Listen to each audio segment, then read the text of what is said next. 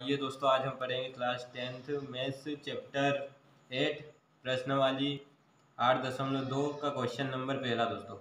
Question है दोस्तों, sign साठ कोस तीस प्लस साइन तीस इंटू कोस साठ। ये दोस्तों, क्वेश्चन है, यहाँ पे हमको इनका मान रखना है और इसका सॉल्यूशन करना है। तो दोस्तों, आइए दोस्तों, हम इसका सॉल्यूशन देखते हैं।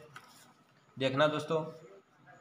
क्वेश्चन है साइन साठ कोस तीस प्लस साइन साइन तीस कोस साठ।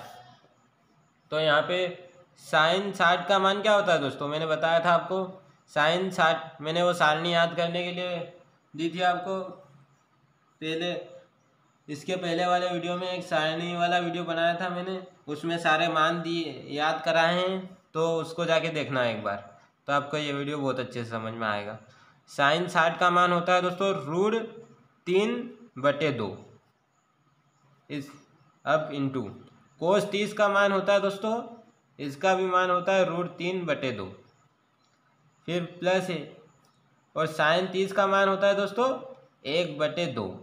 इंटू कोस साठ का मान होता है दोस्तों, एक बटे दो।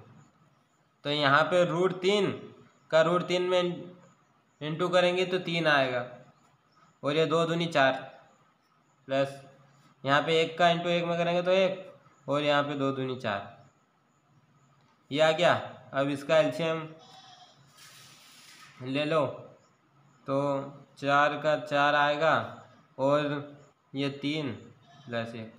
आधा समान है तो ये जुड़ जाएँगे दोस्तों ऊपर के।